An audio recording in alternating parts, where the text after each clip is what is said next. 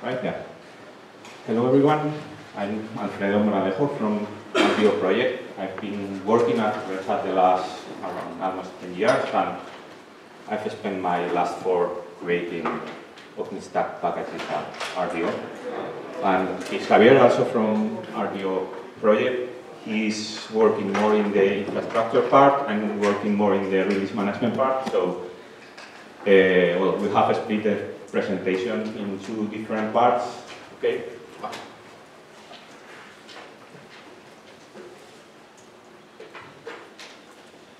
Yeah, okay. So this is what we are trying to talk about today, okay? We are, the goal for today is to try to share with all the interested people what we have done in the last year or so, what we plan to do in, in next months, and the problems we have been facing during, during this time, okay? Also, we will briefly describe how to contribute to RDO for those that may be interested in participating in the, pro in the project in somehow, whether as users, contributors, whatever you may be interested, okay? So, yeah.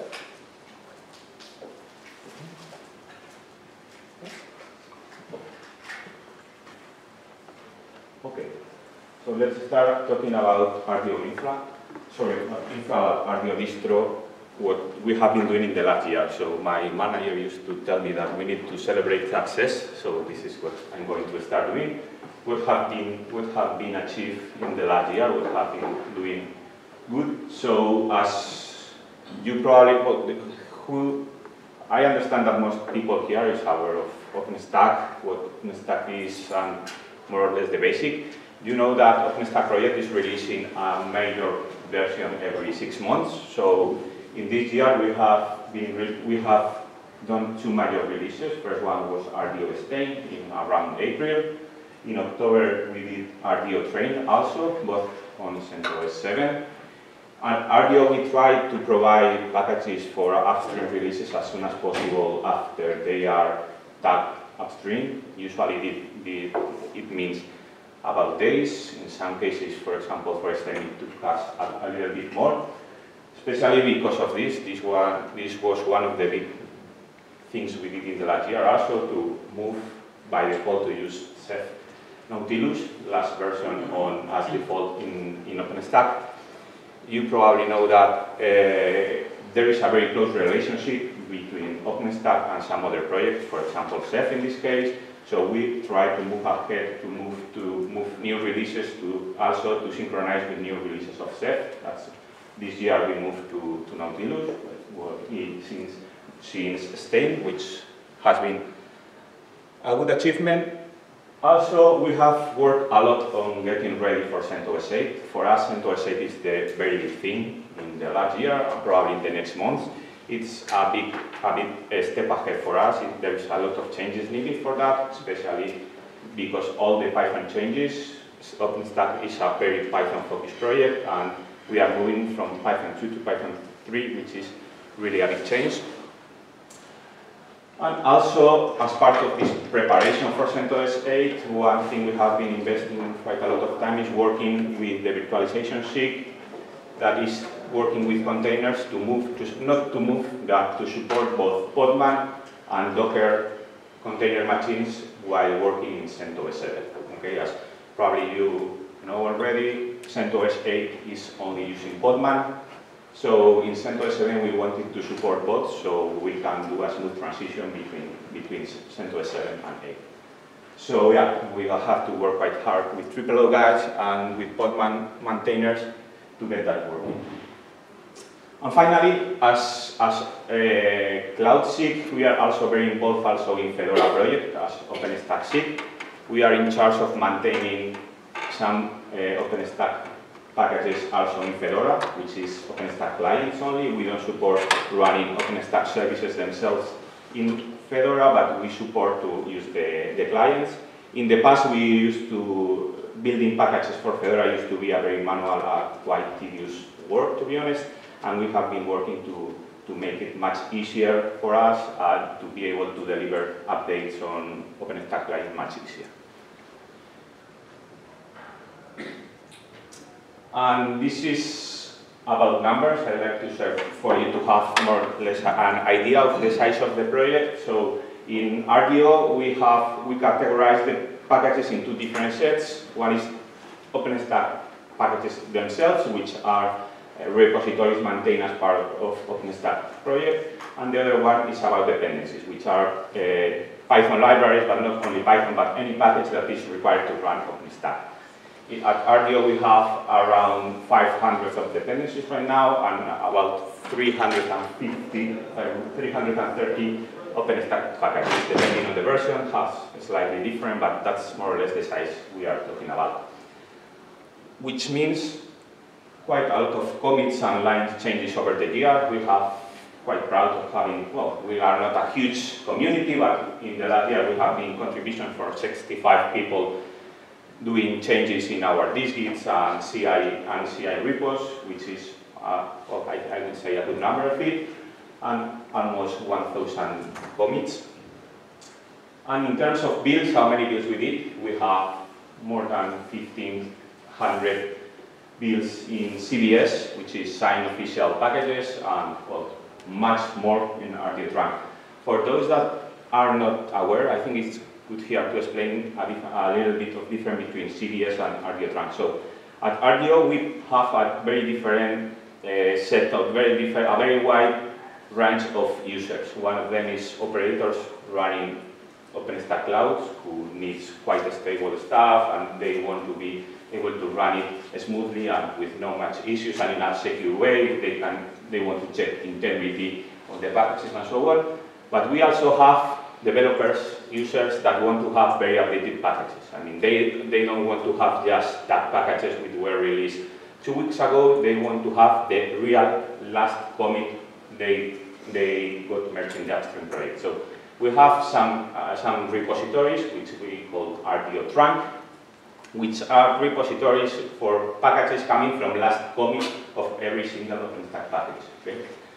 Those are unsigned packages. We don't usually recommend for open for operators. Okay, we usually operators tend to, to work with with signed and official repos, but especially developers, CI, and so on are using RDO Trunk. Okay, we have a special tool. Javier will probably talk a bit later about DeLorean, which is our tool to do those very fast-moving builds. Okay?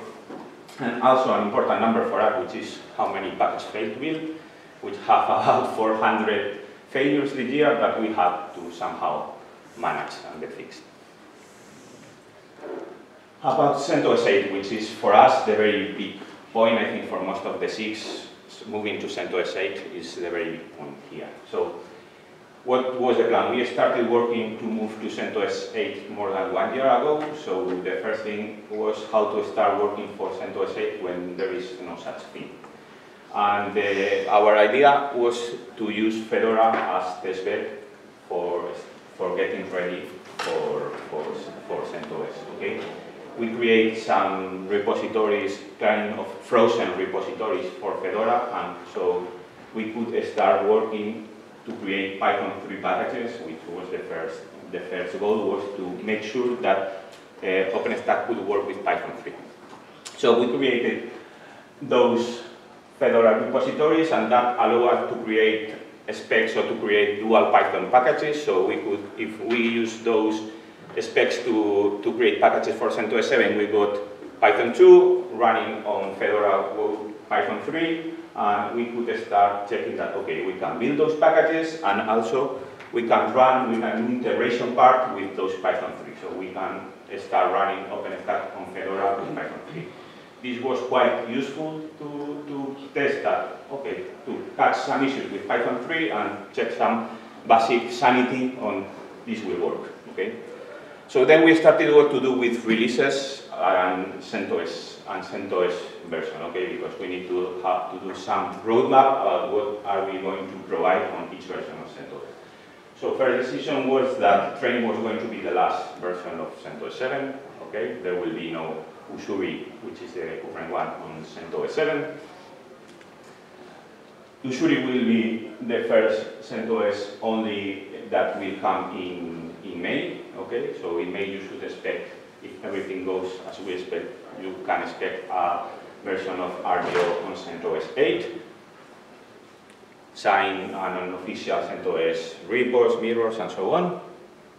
And then we have, we had, and we still have some doubts about what to do with train on CentOS 8. If there is really a space for it, if we want to, to spend time. So the, the first decision was to provide a RDO uh, trunk repository for, for CentOS 8 and train, this fast moving on each commit, okay, because that's mainly for developers who need to start working to make upstream project to work with CentOS 8. So they use RDO trunk, so they, we decided to provide both for master for Ussuri and for, for train. And we are still considering what to do with, with train and CloudSig and sign packages, official packages for train. Uh, mainly it will depend of the demand from users. If we really see demand for, from users requesting and asking for RDO train, it's not our focus, or our focus is Ussuri on CentOS 8 but we think that the, the movement or the migration to CentOS 8 is going well. We are quite confident and we may be able to provide a, a train if there is demand for it. Okay? So easier migration, train to train. You have train yeah. C7, you add nodes with train on C8, and you just migrate train train. So yeah. We don't have to worry that exactly. something so, could change between yeah, releases. Exactly. So one of the goals, I understand it can be helpful to, to do one change at a time. Okay, instead of doing two times together, so moving to a different major version of, of OpenStack and CentOS, providing can make it easier to just migrate just to CentOS 8. So yeah. The same plan has tri TripleO's have the same plan from what I remember, and at Kolla we also plan yeah. to have train for C7 and C8. In Ussuri? No, sorry, in train? Yeah. After we get Ussuri yeah. on C8, we want to backport stuff to train and get train on C8. I would say that the focus on of, of I don't want to, to yeah. talk in the name of TripleO, but the priority for them is a master Ussuri right now.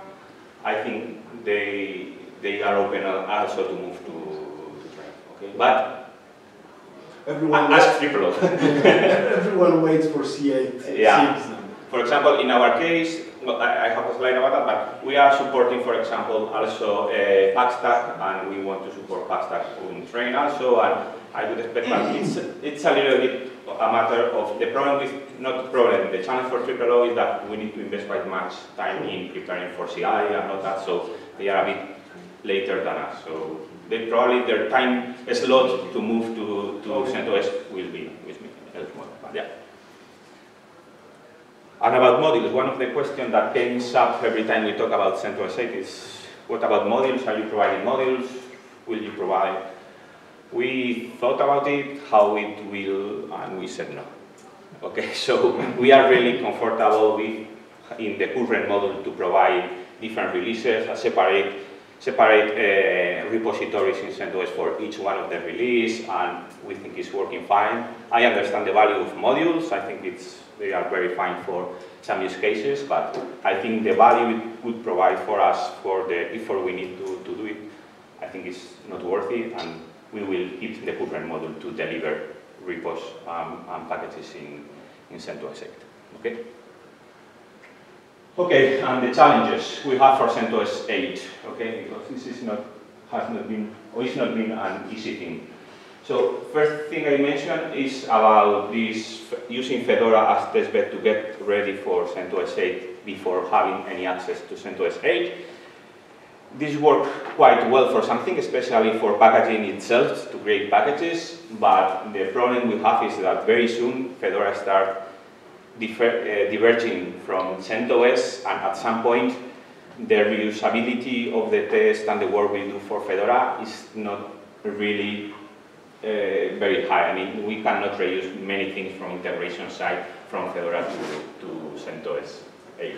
So yeah, it was good, but at the same time, when we try to move from Fedora to CentOS, there is still a lot of work to do, okay?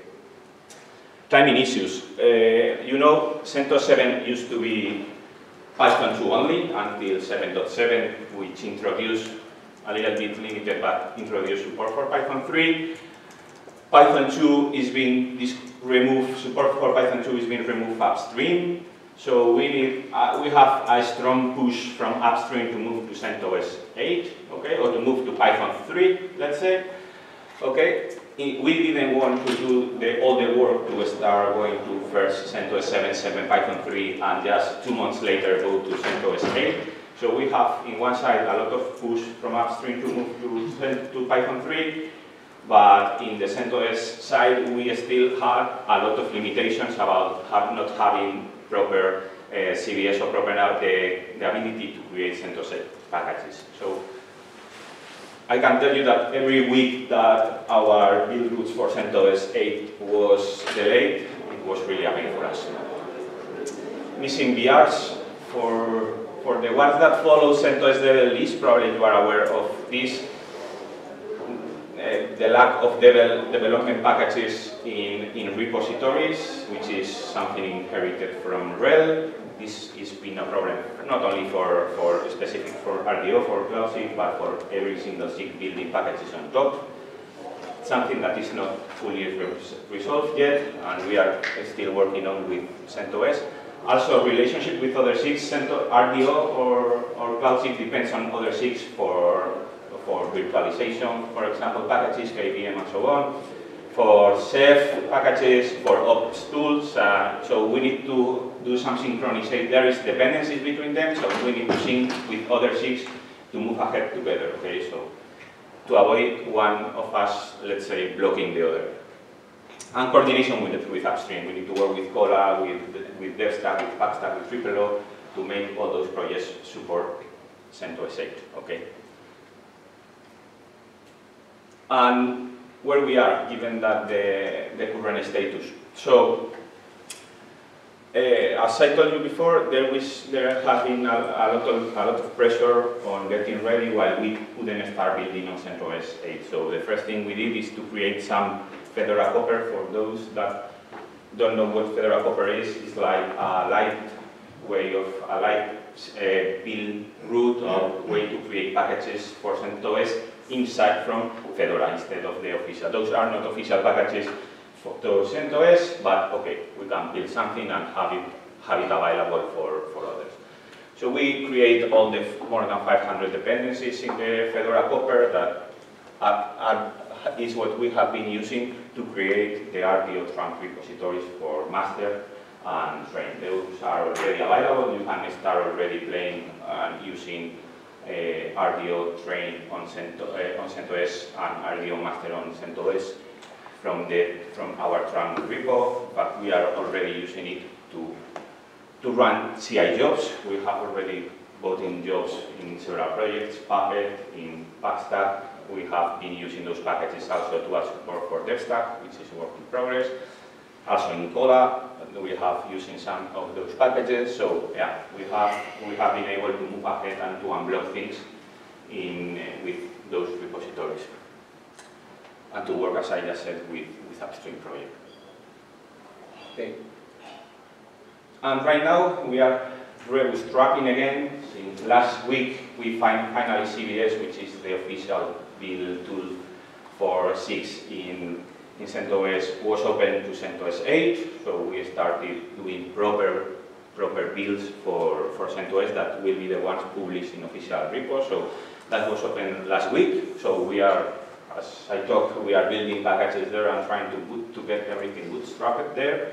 I, ha I hope to have it to have it there very soon. And in parallel, we are working with other SIGs to get Ceph, for example, or have advanced virtualization, which is the, how the newest KVM is delivered to CentOS 8, is what is called advanced virtualization. So we are working with several SIGs to have all that, especially, yeah, this is the full list of SIGs where we have some kind of dependencies, virtualization for KVM, we have storage for Ceph, yeah, well, uh, Gluster is not longer supported on OpenStack, I would say ops tool for quality and other things. And there are a couple of cases like messaging, SIG, and, and PaaS where we are still under discussions about who is taking care of what.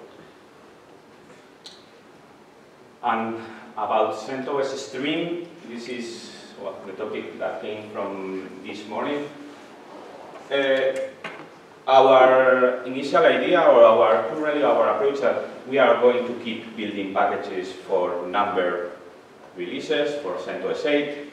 I think the users for, for CloudSig packages, especially the ones targeting the official repos are operators and so on, we want to keep providing something stable and well known at this point. There is a lot of uncertainty yet on, on CentOS Stream, so we, we are going to keep supporting CentOS 8 repos, minor releases and so on, but we really like the idea of Stream because it helps us in two of the main problems that we have been hitting in the last, in the last years. The first one is being able to test minor releases before they, they are actually shipped in, in, in repos. In the past we used to have CR, but that was that kind of limited to those packages that are already released, so there is no, I mean, we cannot provide any feedback for that, that ship that's going to land, okay, we can gain some time using CR, but that's it. And, and with CentOS Stream, I think is the right way to provide feedback when testing things before they are shipped. So our plan is to use CentOS Stream to run CI on top and to start testing how OpenStack works with the incoming packages for CentOS Stream for minor releases. And probably the thing that is more exciting for us is being able to work with, with the next major release much, uh, much time before there is, it's shipped by Red Hat as part of RHEL and it's in CentOS. Because it, well, I've explained all the mess we had to do with Fedora. I think this is the right way to do and to avoid all that hacking with Fedora and trying to emulate kind of what, how next RHEL is going to look like using Fedora. No, I think we think that CentOS Stream is the right way to do it, and we are really very excited about it in the sense that we hope that it will help us a lot to get ready for next major release when, when it comes. Okay?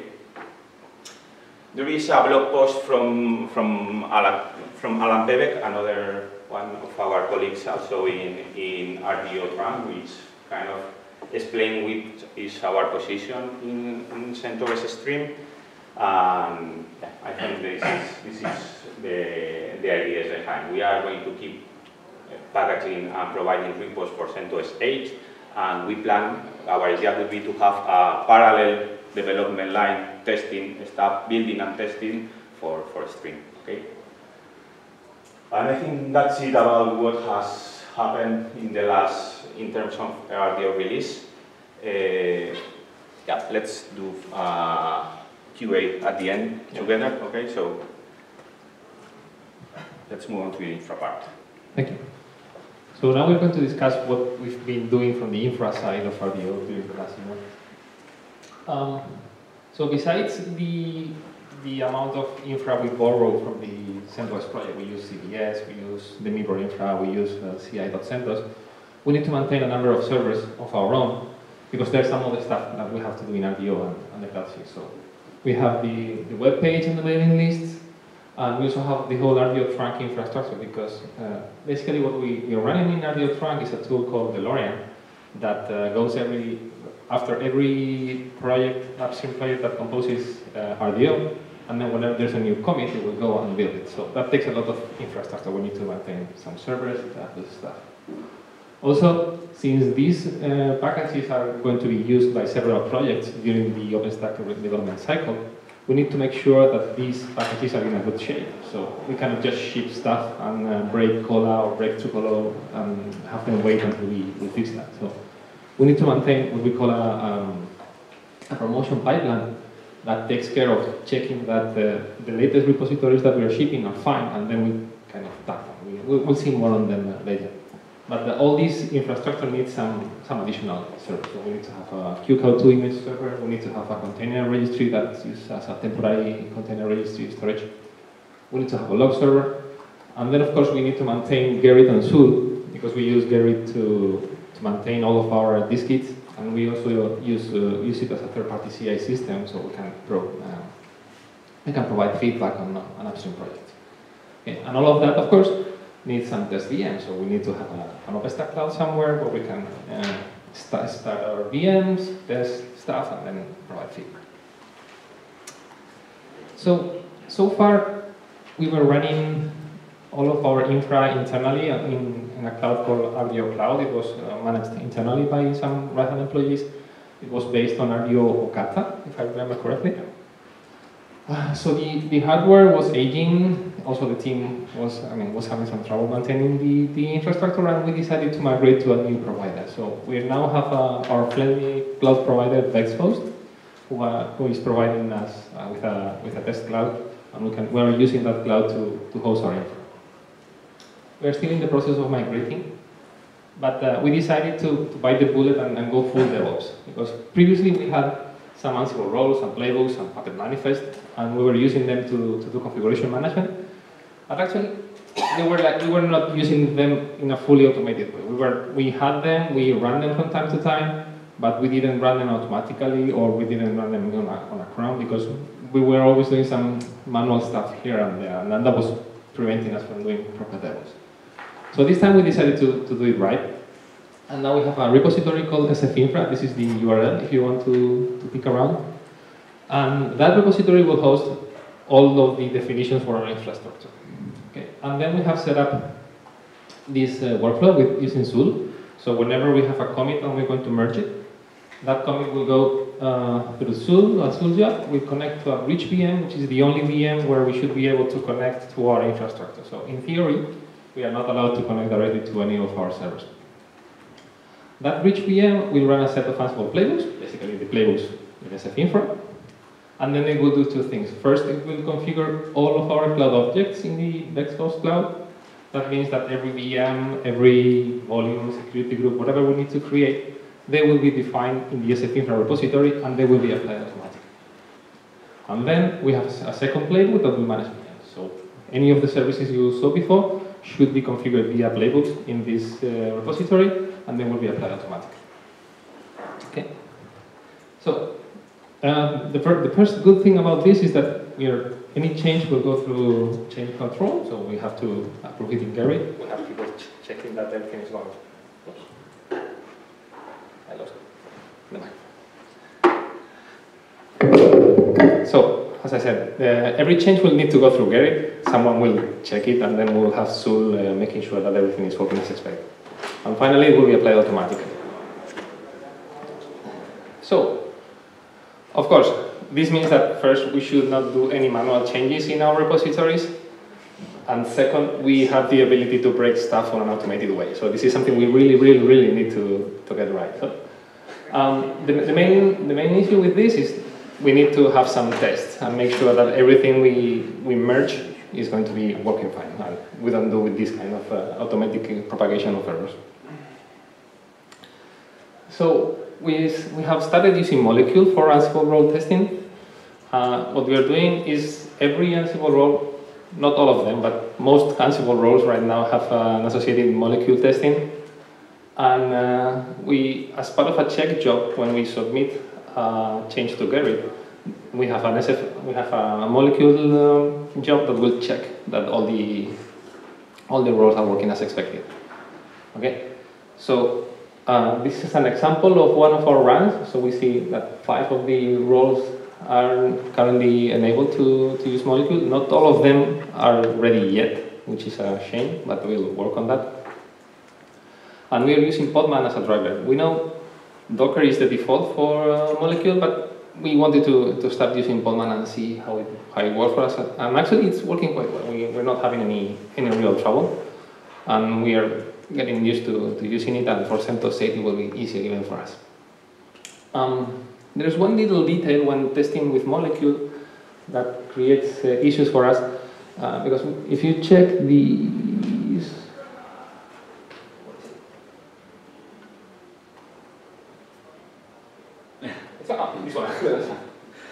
So if you check the last one, this is a very simple rule. We have to, to enable a swap volume on our VMs and of course, if you're running inside a container, there are certain operations you cannot do, and one of them is running swap on. Mm. So for this one, we have to do some little, some small trick and, uh, and ignore one of the tasks in the in the Ansible playbook. So it's not actually testing. We don't. We're not actually testing every single step, but uh, that one we are we are excluding. So probably we'll have to, to look for improvement here and use VM, proper VMs for, for some modules or things like. We, this is something we still need to discuss. But so far it's, it's working quite well and we need to expand this, to expand this to, to cover all the Ansible roles. So, uh, we were speaking before previously about this uh, CI testing we need to do on our RDO trunk repositories when we, before shipping them and making them available to use for TripleO, Kolla, and all the other projects. So this is the way we were, we were setting up this promotion pipeline before. So we basically took all the latest packages we had built for all the OpenStack projects, these 300 plus packages, put them in my repository, and then had a series of uh, TripleO based jobs that were testing the repository. And once, once all, all uh, CI jobs passed, then we say, okay, this, is, this repository is fine, we stamp it with a CI passed uh, stamp, and then we go out. Which is fine, it's simple, it's easy to understand, but there's one big issue with that. As soon as there is one issue in one of these 300 plus packages, then we are halting the whole, the whole pipeline. So that means that, let's say everything is working fine, but there is a small bug in Cinder when running on top of Ceph with TLS, blah, blah, blah. And that is making one of the TripleO jobs be go red. So that means that uh, unless we fix that bug in Cinder, no new code is being pushed anywhere. So people running TripleO cannot test new features, people running Kolla cannot test new features. Other projects that want to rely on the latest packages from RDO Trunk cannot, uh, cannot do anything. So that, that was a problem. So we wanted to to make it a little bit uh, more dynamic. So what we did was something like this. We, we're working on a component-based promotions. Uh, what we did was take these 300 plus packages and split them into components. We have defined already uh, 15 different components. And we had like a Nova-based uh, component. So we have Nova and Friends. We have a Neutron component with Neutron and Friends. We have a Horizon component, stuff. So of course, each component is much smaller. So we divided the uh, test pipeline into two phases.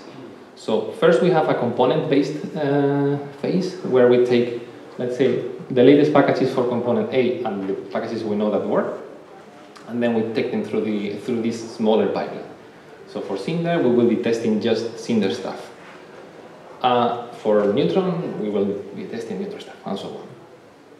And once each of the components passes their own set of tests, they will get a, first time. Let's say, okay, uh, I have passed my own tests and, and, they're working fine. And then once we get that, we will periodically get the latest uh, CI, first CI stamped repositories and taken through an integration pipeline.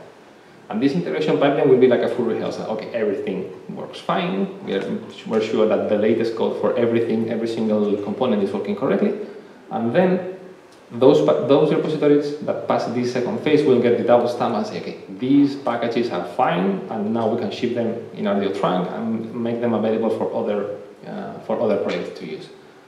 The biggest advantage we have with this uh, two-step pipeline is that the cinder bag we mentioned before, let's say we have this small cinder bag. This cinder bag should be caught at the per component test pipeline.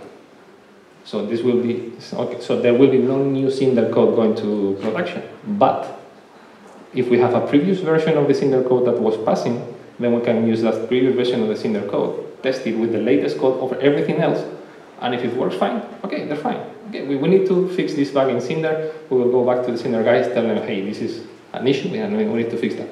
But at the same time, we are making uh, the rest of the code move forward, so we are integrating code faster, even if it's not complete. Okay, so uh, so far, this has required changes in several of our components, in several of our components. No, that's not the right one. In several of our tools. Um, first, we needed to add support for DLRN, our continuous packaging tool, to make sure that we, we were able to split the whole uh, repositories into components and, and, deliver different repositories. Then we needed to create an initial proof of concept uh, jobs. The jobs were fine, they're working. And now we're in the middle of setting up the whole pipeline and making sure it works on time for Ussuri, because we want to, to release this uh, for Ussuri on CentOS 8. We don't have any plans to backport this stuff uh, to train for train and earlier we will be using the traditional pipeline which was working fine. Okay. So this is it. So you're probably saying, okay, this, this was great. I want to really want to contribute to the Cloud SIG. How can I do that? So there's several ways. We have uh, IRC channels. We have uh, CentOS Development RDO on Freenode. We have mailing lists. We have weekly meetings for the Cloud SIG for RDO meeting uh, for RDO. So we will be more than happy to have you around if you want to contribute. And just one little thing before we finish. Uh, everything we talked so far was OpenStack because the, right now we are the only project inside the Cloud SIG. But that doesn't mean that there is no place in the Cloud SIG for other cloud projects. So if you are interested in uh, packaging and distributing uh, CloudStack, OpenNebula, any other cloud-related project, even this Facebook container thing that uh, you mentioned, if you're interested in shipping it uh, as part of the Cloud you're more than welcome to do so. And we will be happy to share the stage with you on the next uh, CentOS Dojo to to tell our story of how you integrate it. So with that, we are yeah, pretty well on time. So it's time for questions and answers. Um, if, if there was a request for Ussuri on CentOS 7 with Python 3 functionality, um, how, like, how possible is that? I, I would And, back. and repeat, So please. the the question is, let's say someone requests uh, Python 3 based Ussuri on CentOS 7. How easy or how feasible is that? I would push back as hard as I can. Okay, but, but can you, can you walk me through Sorry. that? Yeah, the pro- there is several problems with that. Yeah. Okay, yeah, I was just joking. So one of the problems is that the Python 3 stack in CentOS 7 is not as complete as is for Python 2. So we would have to have not only the usual dependencies stuff, but a lot of, a, lot, a big but another big set of packages that we need to rebuild that we are usually getting from, from Ren, okay? So that's one of the problems. The other problems is all the rest of rebases or updates that are coming for, for CentOS 8, okay? Which is, in fact, it's a new different set, for example, of container tooling, is everything is Podman based and so on. There is no, there is no Docker for CentOS 8 at all. There is rebases of uh, things like, well, MariaDB, HAProxy, a lot of rebases and updates that are coming. So, to be honest, I think the likely, likely likelihood to get it accepted would be low. I mean, it's it really would be would be hard. Okay. So possible, but highly unlikely. Yeah, yeah. I mean, if there is just, I- we we are open to discuss. Okay, and if there are justifications, could be done. I mean, there is. Uh, we have been having uh, support for CentOS 7, and well, in fact, we are still running CentOS 7 jobs. So yeah, it's possible. It's untested, and in the other side, I think that uh, to have support in RDO, we want to have those tested upstream also. So getting things tested, both CentOS 7, CentOS 8, Python 2, Python 3. I mean, it's an effort not only in RDO, we need to have uh, also support of test upstream in Gate. So, I, and to be honest, uh, usually what users want in CentOS or is to move forward. So, we, there is usually more pressure to get trained on CentOS 8 than Ussuri on CentOS 7. so that's what we see in the community. We see much more people asking about moving on to CentOS 8 that I want to stay longer for, for on CentOS 7. There are companies, but there I would say it's usually another profile of companies, maybe a lot more conservative and let's say another segment. okay. Just to add to that, um, what we did for six, if you remember, is uh, we provide some set of package uh, of, basically on six when seven was the only supported release, but we backport only the core component for the hypervisor. So it wouldn't be a rebuild of everything as well. So that would limit a lot of the dependency Yeah. we need because we don't need, uh, uh, let's say, uh, all the uh, also key stone and all these things. We just need really the core component for hypervisor to be able to continue. So it's why it's an effort that is hard, I agree, but it's not completely crazy to think about it. Yeah. In terms of, of, of upgrading a big cloud. Yeah, in fact, that's that's very true. I mean, there there may be there may there are some hybrid cases where it could make sense. For example, maintaining uh, hypervisor or CentOS 7. Yeah, that could be an. In fact, that's one option that we will have with Train, not Ussuri, but yeah, it's it's yeah, that's a good point.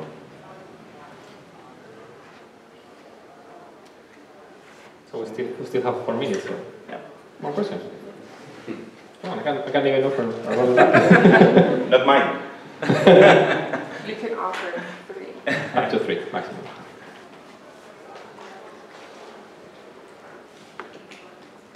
Okay.